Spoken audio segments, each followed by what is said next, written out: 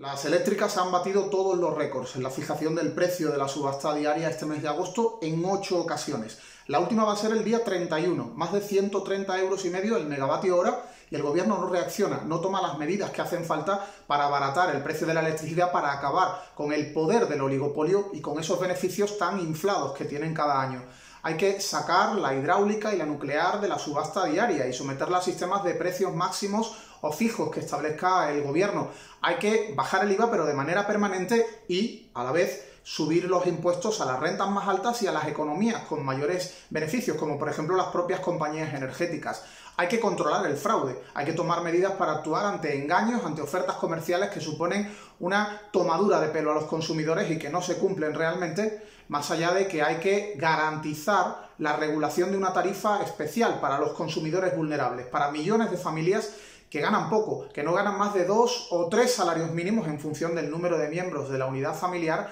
a los que habría que aplicar descuentos de al menos el 50%. El gobierno no contesta a estas reivindicaciones y tiene que actuar ya, salvo que esté trabajando para favorecer los intereses de grandes empresas y no los de los consumidores.